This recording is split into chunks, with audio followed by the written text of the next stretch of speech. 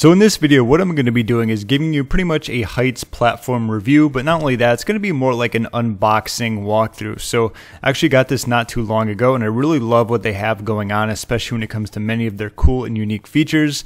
And I went around, I played with it myself. You know, I set up a course, the outline, and pretty much tested out all the lessons and the discussions and I want to do the same thing for you so I'm pretty much going to start from scratch. So aside from that, let's get right on into it. If you want to actually test out the Heights platform yourself, I'll put a link down below. You can actually get a free trial. We can pretty much follow along with what I'm going to be doing. So let's start with the course and we're going to give it a course title. Sure, just a test, okay?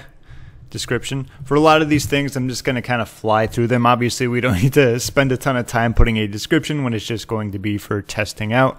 Obviously, when it comes to settings, it can be sold separately. You can also do enable public preview page.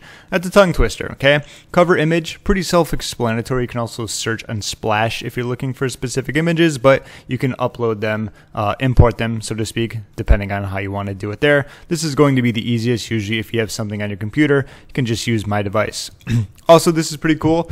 When it comes to difficulty, sometimes you want to segment your course based upon the experience that the students are going to be having. So it could be no label, which I'm going to do for mine, but you can also do beginner, intermediate, or advanced. Okay. Uh, it's not going to be published yet, so I'm just going to do create course. All right, so now that we are here, this is where your cover image would go. This is just a test, and this is the description that I put description. okay, so let's create our first lesson. What I like about this, as you can tell, it's very quick to load, which is nice. Uh, let's do lesson one. Okay, very generic. Uh, let's just say introduce the course. Okay. So the cool thing about this is that it's very easy to use and there's multiple kind of uh, tabs and features that you can utilize when it comes to creating a lesson. So you might want to utilize text content. You might want to utilize the video. You might want to ask an assignment, okay, which will appear right there as you can see. You might want to add in a download file or maybe an audio file, okay. So the cool thing is you can actually combine a lot of these. So for example, if you wanted to say like, hello, it's great to have you here. Thank you for taking this course, okay, and so on and so forth. And then maybe you want to add a video into it as well. What I did is I just took a motivation video on YouTube. I'm going to paste it in right here. You can also embed it if you want. All you would need to do is go here and add the uh, YouTube embed uh, form or code, whatever it's going to be. Okay, and then let's say we also want to add an assignment. So, what did you learn from this? Okay, let's say it's going to be two points. I like how they add a point system to this. This allows your students to be able to kind of feel a sense of accomplishment when it comes to either following through with watching videos, doing materials, answering assignments like this one, maybe actually taking action, which is going to be the most important part. So let's go to save lesson. Okay, now let's actually preview it. So I'm going to go here, view this lesson, open in a new tab.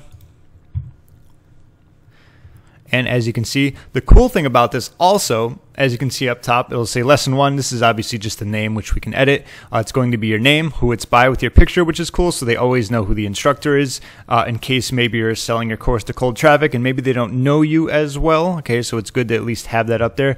The objective, remember we talked about, this is just going to be introducing the course. And I like this. It has a reading time here, so less than a minute. It shows how many words there are, so you can give the person a general idea of how long it's going to take to go through. And for this one, we have points to earn, which is going to be two. Okay, so remember we talked about this is going to be with the video. It's going to be the biggest thing up top, so it's easy for someone to click on it, watch it, and so on and so forth. Uh, this is just a random text that I put there, which you can put much more if you want. And then, of course, when it comes to the assignment, what did you learn from this, where someone would go through, and then, of course, submit answer. Okay. So with this, you would obviously need to submit the answer. As you can see here, answer question to complete. Uh, that the lessons are pretty simple to set up. Okay, let's submit answer. Awesome, let's complete lesson. Okay, so I've reached the last lesson in the course. Okay, so let's actually go back to uh, the course itself. Let's go to courses. Let's go to this. Of course, we can do another lesson. So create lesson. Same thing once again. Let's just call this lesson two uh, whatever. Okay, we're just flying through this stuff. And once again, if we want to do something different, let's just say we want to do text and content and we want to do a download. Okay, let's do download. So in this, make sure that you download your important files, okay? And just as an example, let's do HTTPS. This would be our download. I'm just, you know, using a website so you can see what it looks like. Then of course, let's actually publish this and then we're going to hit save. And let's view this lesson. Okay, so the downloadable content will be up top. I'm not sure in the future or if you can even do it now. Maybe I missed out on this, but it would be cool if you can actually choose where these go. For example, when you have your video, maybe you have an assignment, maybe you have downloadable content. It would be cool if you could actually choose that you want this to go on the bottom and maybe you want the text to go on top where you can kind of rearrange them. Like I said, I'm still been playing with it, so maybe that is a feature. If not, it would be cool just to have something, you know, that would be there in the future. Once again, when it comes to the reading time, less than a minute, tells you how many words are there, how many points that your students can earn, and so on and so forth. So that's pretty much the process when it's going to come to creating lessons. In my opinion, it is very easy to do. As you can see, you would just keep adding on to them. You can do another lesson. You can also drag and move them around so you can choose which one goes first, second, third, fourth, and so on and so forth. Okay. So here is another great feature when it comes to the Heights platform that I actually love the most. This was probably one of the biggest things that I liked. Okay. So are the actual message boards. Okay. So let's create a new message board. Okay, main discussions two. Okay, discuss what you learned. Sure. And no group, and let's create a new message board. All right, I had to actually go back and change some things around because uh, before what I was doing when I had my discussions, I was looking to see how you can actually delete the post, and instead what I did is I blocked myself. Okay, so uh, if you ever wanted to actually delete a post, you would go down here and do delete topic. So in case you wanted to know that, but this is a cool thing. The reason why I like this so much is because it keeps everything and everyone all within the course platform. Okay. I've noticed a lot of times that people nowadays will create a group on Facebook as like in addition to where people can get coaching, get their questions answered. For me, that was always a big distraction. For me personally, I don't like utilizing Facebook. It's a very big time suck. It's very distracting, and I know it can be the same for the students in it. So the cool thing about this is that when it comes to having your own discussion boards, it's all within the platform. And plus, you could always get someone to moderate it if you want uh, and really streamline the process. So everything is all within the course by itself.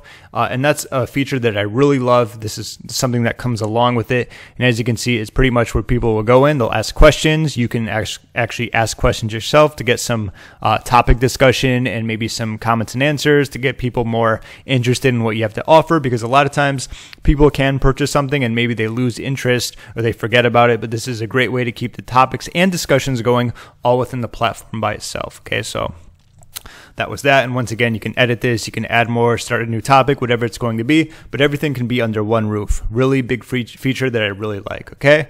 So aside from that, let's go to Mentor Dashboard. Okay.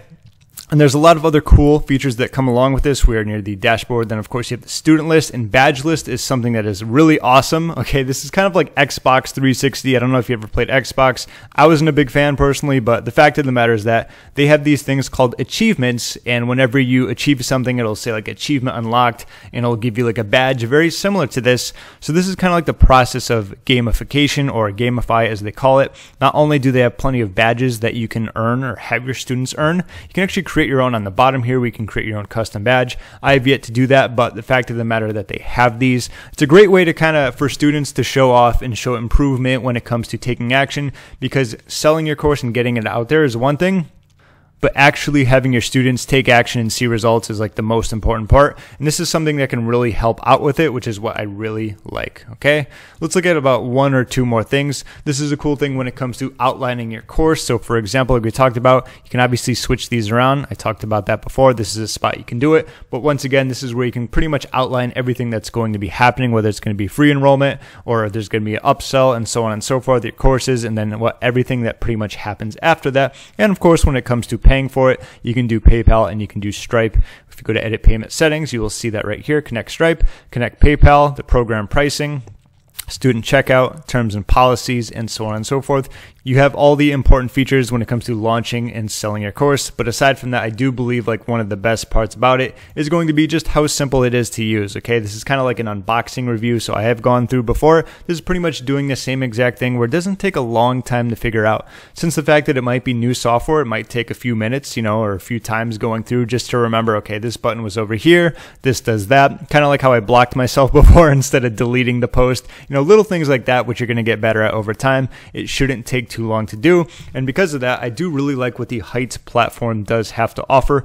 It's simple to use. They got a lot of great features going on for it. And uh, if you're looking to get your course up and running pretty quickly, this is definitely going to help do it. So I hope that uh, helped you out when it comes to this Heights platform review. Once again, I'll put a link down below where you can actually get started with a free trial. And uh, if you look a little bit deeper into the discussion, excuse me, not the discussion, to the description down below, I'll have a post in case you're more of a person who likes reading blog posts to a review when it comes to this platform as well. But that's about it. I want to say thank you for watching and I hope that you enjoy the Heights platform as much as I'm going to.